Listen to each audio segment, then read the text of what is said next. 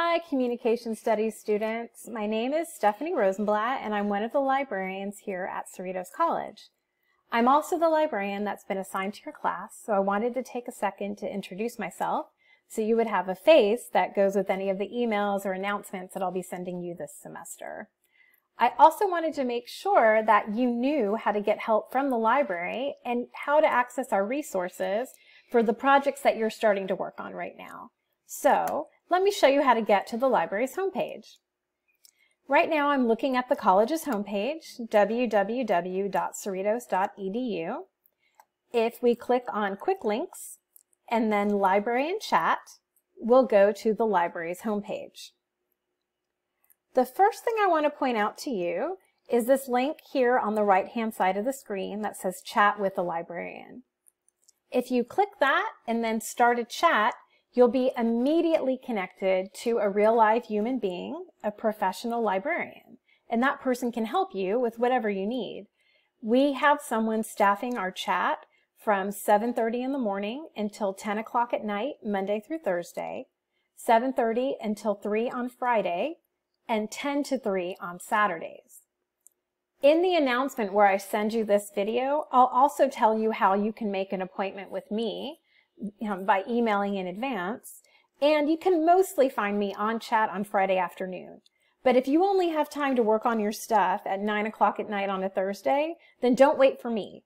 Start your work and come here and chat with one of my colleagues and we'll help you out. Okay?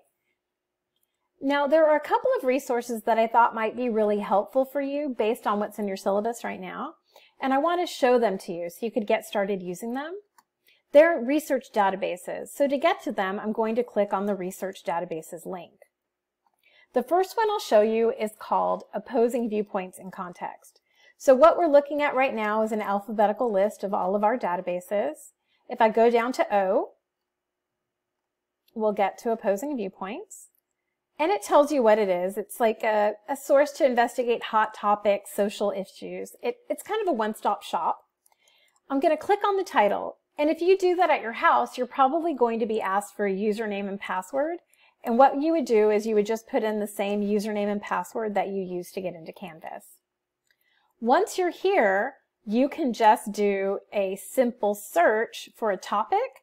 But if you don't know what you want to write about, this, this resource is great because you can click this little link here that says Browse Issues. And it will give you a lot of ideas about what you want to write about, right? So sometimes it's a good place to kind of get started if you don't have any ideas. If you do know what you want to write about or you're interested in investigating, you can just put in a simple keyword search. So in this situation, I'll just put in video games.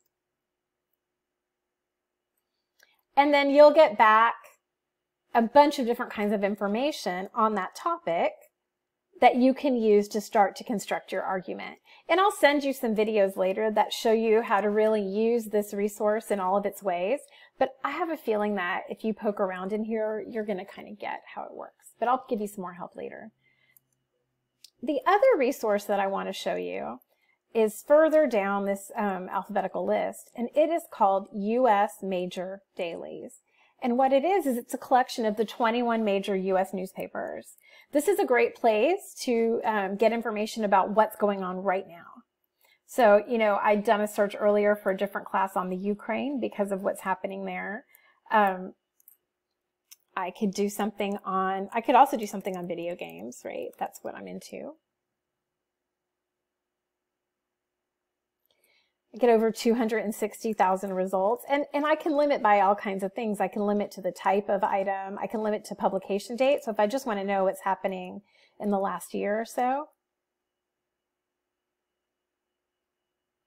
But you can see like once you're in here, you have access to the Washington Post, the New York Times, uh, the Wall Street Journal, all kinds of major papers in the United States. So I hope those resources help you get started. I hope that you'll remember how to get to the library's homepage so you can get help from me or one of my colleagues immediately when you need it. And I look forward to talking to you more this semester. Good luck!